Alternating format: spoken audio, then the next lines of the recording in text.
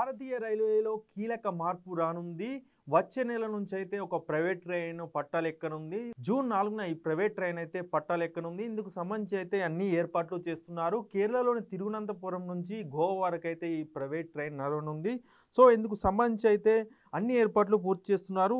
SRMP global railways private limited సంస్థ ఈ private train సర్వీస్ని అయితే కొనసాగించనుంది. భారత్ గౌరవ్ యాత్ర ప్రాజెక్టులో భాగంగా భారతీయ railway principal travels private limited సంయుక్తంగా అయితే ఈ ప్రైవేట్ ట్రైన్ అయితే నిర్వహించనున్నారు. తిరువనంతపురంలో ప్రారంభమైన ఈ ట్రైన్ అయితే త్రివేంద్రం కొల్లాం కొట్టాయం ఎర్నాకుళం త్రిశూరు కోజికోడ్ కన్నూరు కసర్గోడ్ మీదుగా గోవా చేరుకుంటుంది. ఈ రైల్లో రెండు స్లీపర్ కోచ్లు ఉన్నాయి పదకొండు థర్డ్ క్లాస్ ఏసీ కోచ్లు ఉన్నాయి రెండు సెకండ్ క్లాస్ ఏసీ కోచ్లు ఉన్నట్లు కూడా నిర్వాహకులు చెప్తున్నారు. ఈ ట్రైన్లో ఒకేసారి ఏడు వందల యాభై మంది కూడా ప్రయాణించవచ్చని చెప్తున్నారు.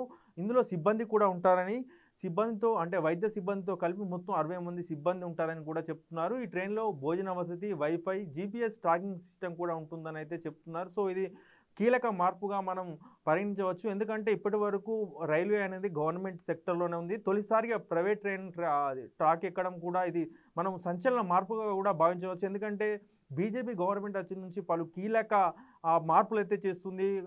గవర్నమెంట్ సంస్థలని ప్రైవేటీకరిస్తుంది. ఈ దిశగానే చాలా మార్పులు అయితే తీసుకొచ్చింది. మనం